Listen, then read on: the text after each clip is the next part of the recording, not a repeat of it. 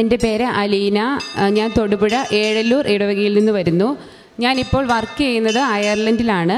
ഞാൻ ആദ്യമായി ഇവിടെ വന്ന് ഉടമ്പടി എടുത്തത് രണ്ടായിരത്തി ഇരുപത്തിരണ്ട് ജൂലൈ പതിനേഴിനാണ്. അത് കഴിഞ്ഞ് മാർച്ച് മൂന്നാം തീയതി രണ്ടായിരത്തി ഇരുപത്തി മൂന്നിൽ അയർലൻഡിൽ നിന്ന് ലീവിന് വന്നപ്പോൾ ഇവിടെ വന്ന് ഉടമ്പടി പുതുക്കി. അന്ന് ആദ്യത്തെ സാക്ഷ്യം പറയാൻ മാതാവ് എന്നെ അനുഗ്രഹിച്ചു. ഇതെന്റെ രണ്ടാമത്തെ സാക്ഷ്യമാണ്.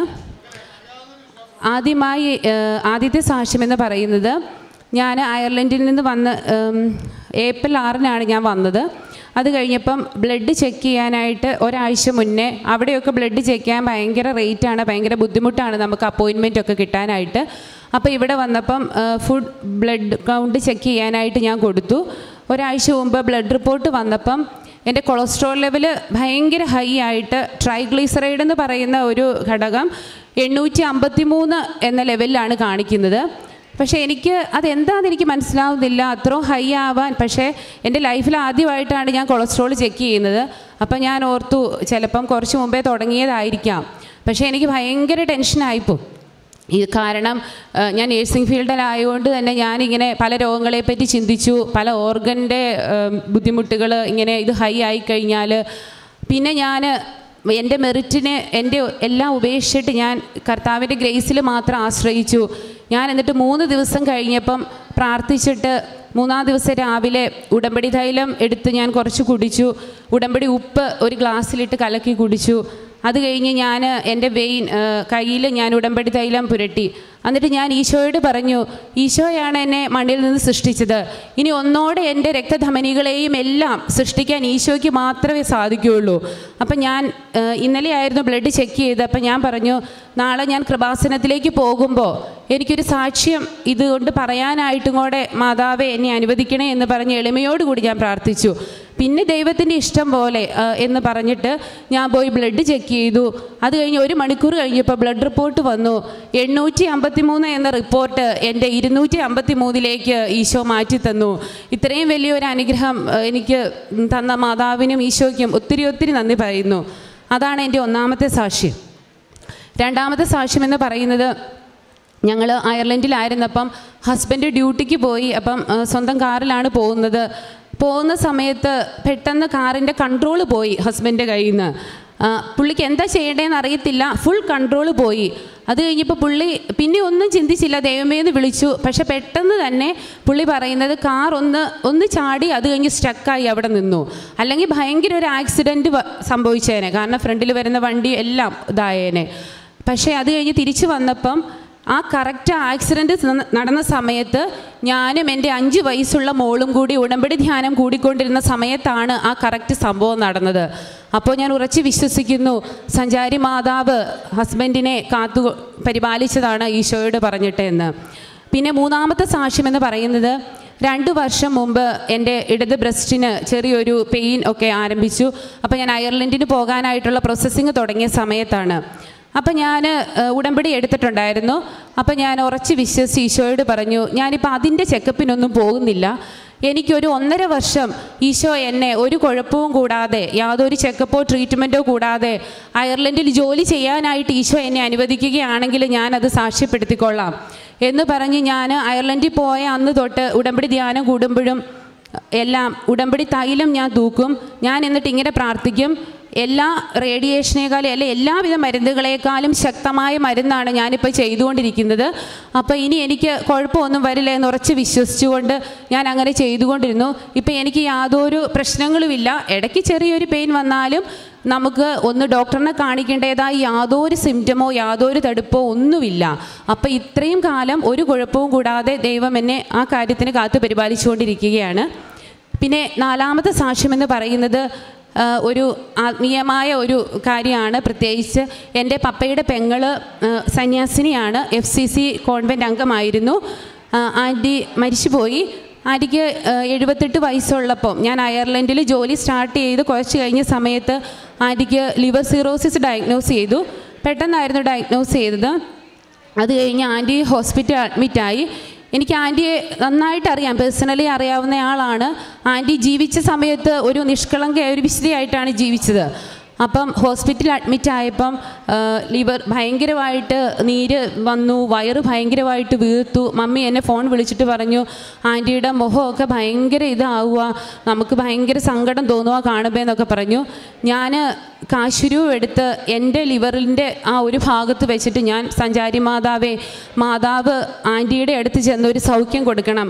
ഈശോ ഇപ്പം ആന്റീനെ സ്വർഗത്തിലേക്ക് കൊണ്ടുപോകാൻ ആഗ്രഹിക്കണമെങ്കിൽ അതൊരു അനുഗ്രഹിക്കപ്പെട്ട മരണമായിട്ട് ഒരു മാലാഹയെ പോലെ ഈശോ കൊണ്ടോണം. അല്ലെങ്കിൽ ആന്റിക്ക് സൗഖ്യം കൊടുക്കണം. ഇതെന്താണേലും ഈശോയുടെ ഹിതം പോലെ വരട്ടെ എന്ന് പറഞ്ഞ് ഞാൻ പ്രാർത്ഥിച്ചു. അത് കഴിഞ്ഞ് പിറ്റേ ദിവസം മമ്മി വിളിച്ചിട്ട് പറഞ്ഞു ആന്റിയുടെ സ്വെല്ലിംഗ് എല്ലാം മാറി. ആന്റി ഇപ്പം ഭയങ്കര സുന്ദരിയായിട്ടിരിക്കുന്നു. രണ്ട് ദിവസം കഴിഞ്ഞപ്പോൾ ഈശോ ആന്റീനെ സ്വർഗത്തിലേക്ക് വിളിച്ചു. പക്ഷേ അന്ന് ആ സംസ് മരണ സംസ്കാരത്തിന് പങ്കെടുത്ത എല്ലാവരും പറഞ്ഞു ഇതുപോലെ ഒരു അനുഗ്രഹിക്കപ്പെട്ട മരണം പോലെ അല്ലെങ്കിൽ സ്വർഗത്തിലേക്ക് ഈശോ ഡയറക്റ്റ് മാലാഹനെ കൊണ്ടുപോകുന്ന പോലെ ഒരു ഇത് ഞങ്ങൾ ആരും കണ്ടിട്ടില്ലെന്ന്. അതെന്റെ ജീവിതത്തിൽ വലിയൊരു അനുഭവമായിരുന്നു. അച്ഛൻ പറയുന്നത് പോലെ നിത്യതയ്ക്ക് വേണ്ടി അല്ലെങ്കിൽ നമ്മൾ അങ്ങനെയുള്ള ആത്മീയ കാര്യങ്ങൾക്ക് വേണ്ടി പ്രാർത്ഥിക്കുമ്പം ഇങ്ങനെയൊക്കെ കിട്ടിയ ഒരു അനുഭവം എനിക്കത് ഭയങ്കര വലിയ കാര്യമായിട്ടാണ് തോന്നുന്നത്. പിന്നെ എന്റെ അടുത്ത സാക്ഷ്യം എന്ന് പറയുന്നത് അയർലൻഡിൽ വെച്ച് എന്റെ ഹസ്ബൻഡിന് ഒരു ദിവസം ഭയങ്കരമായിട്ട് സ്റ്റൊമക്ക് പെയിൻ വന്നു. അവിടെയൊക്കെ ഒത്തിരി പെട്ടെന്ന് ഭയങ്കര പെയിൻ വന്നാൽ പെട്ടെന്ന് എമർജൻസി ആംബുലൻസ് വിളിക്കണം നമ്മൾ കൂടെ പോകണം അങ്ങനത്തെ ഇഷ്യൂസൊക്കെ ഉണ്ട് അപ്പം ഞാൻ ഉള്ളിലോർത്തു കൂടെ പോകാൻ പിന്നെ അഞ്ച് വയസ്സുള്ള കുഞ്ഞു ഞാനുമേ ഉള്ളൂ. അപ്പം ഞാൻ ഉടനെ ഉടമ്പടി തൈലം എടുത്ത് ആ പെയിനുള്ള ഭാഗത്ത് പുരട്ടി. സർ വിശ്വാസ പ്രമാണം ഹസ്ബൻഡിനോടും ചൊല്ലാൻ പറഞ്ഞു ഞാനും ചൊല്ലിക്കൊണ്ടിരുന്നു. അത്ഭുതമെന്ന് പറയട്ടെ ഒരു രണ്ട് മിനിറ്റിനുള്ളിൽ പെയിൻ പരിപൂർണമായിട്ട് സൗഖ്യപ്പെട്ടു. ഇങ്ങനെ ഇത്രയും അനുഗ്രഹം തന്ന മാതാവിനും ഈശോയ്ക്കും കോടാനുകോടി നന്ദി പറയുന്നു. അതുപോലെ ഞാൻ വർക്ക് ചെയ്യുന്ന വർക്ക് പ്ലേസിൽ പേഷ്യൻസിന് ഞാൻ ഈ കാശിരൂപം തലയിൽ വെച്ച് പ്രാർത്ഥിച്ച് ഒത്തിരി രോഗസൗഖ്യങ്ങളും അങ്ങനെയുള്ള ഒത്തിരി ഒത്തിരി അനുഗ്രഹങ്ങൾ ഉടമ്പടി കാശിരൂപവും ഉടമ്പടി നേർച്ച വസ്തുക്കളും ഉപയോഗിച്ച് അനുദിനം എനിക്ക് കിട്ടിക്കൊണ്ടിരിക്കുന്നുണ്ട്. പിന്നെ ആത്മീയമായി എനിക്ക് ഒത്തിരി വളരാനായിട്ട് ഉടമ്പടിയിലൂടെ സാധിച്ചു. അത് പ്രത്യേകിച്ചും ഉടമ്പടി ധ്യാനം കൂടുമ്പോൾ ജോസഫ് അച്ഛൻ പറയുന്ന ഓരോ കാര്യങ്ങളും കേൾക്കുമ്പോൾ ഒരു ക്രൈസ്തവയായി ജീവിക്കുന്നതിൽ അഭിമാനം തോന്നുകയും എങ്ങനെയൊരു ഒരു ക്രിസ്തീയ ജീ ക്രിസ്തീയ ജീവിതം നയിക്കണമെന്ന് ഓരോ അനുദിനം മനസ്സിലാക്കിക്കൊണ്ട് പോകാനും സാധിക്കുന്നുണ്ട്. പിന്നെ പ്രേക്ഷിത പ്രവർത്തനമായിട്ട് ഞാൻ ഇവിടുന്ന് ഇംഗ്ലീഷ് പത്രം വാങ്ങിച്ചുകൊണ്ട് പോയായിരുന്നു. അത് കഴിഞ്ഞ് എന്റെ പേഷ്യൻസിനോട് ഞാൻ ഇവിടുത്തെ കൃപാസനത്തെക്കുറിച്ച് എനിക്ക് അറിയാവുന്ന രീതിയിൽ ഞാൻ അവർക്ക് മനസ്സിലാകുന്നത് പോലെ പറഞ്ഞു കൊടുത്തിട്ട് ഞാൻ ഓരോ പത്രവും അവർക്ക് വിതരണം ചെയ്യുമായിരുന്നു. അതുപോലെ പേഷ്യൻസിനോട് കാരുണ്യപൂർവം പെരുമാറാനും അവർക്ക് വേണ്ടുന്ന പരിചരണം കൂടുതലായിട്ട് ചെയ്തു കൊടുക്കുവാനും ഞാൻ ശ്രദ്ധിച്ചിട്ടുണ്ട്.